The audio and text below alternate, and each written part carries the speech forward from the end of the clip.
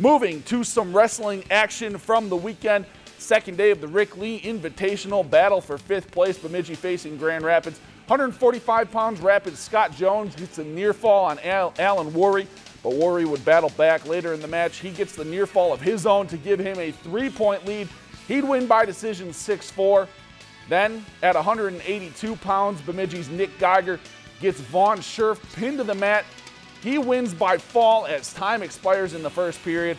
Bemidji would win the dual 27 to 6 and then battle for 10th place. Brainerd taking on Bloomington Kennedy. Warriors Max Boren gets the reversal on Alonzo Chavez. He would win by decision 7-2. Brainerd wins 36-30. And here's a look at your final standings. Perham taking the top spot. Bemidji in 5th, Grand Rapids in 6th.